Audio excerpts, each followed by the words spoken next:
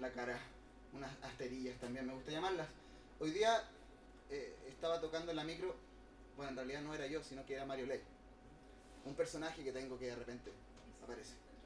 Y a Mario Ley pues estaba cantando esta canción de Maldigo de Alto Cielo de Violeta Parra, ¿verdad? Con una coda ahí media en, en, en homenaje a, nuestra torre de marfil Costanera Center tan bella que se ve, ¿no?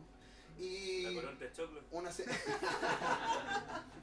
exactamente. De Dios no sé.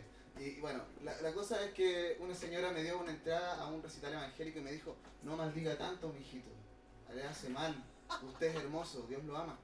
Y yo le dije pucha señora lamentablemente hay tantas cosas que bendecir y maldecir eh, al mismo tiempo en este mundo. Y bueno tengo, tengo el boleto, así que si alguien quiere ir, después me lo pide y yo se lo puedo entregar. Heavy metal, heavy metal. No sé qué, en realidad parece que es como reggaetón evangélico. Eh, así. Don bendecido. Malo. Ah. Don Omar bendecido. Esto se llama discurso motivacional del opresor.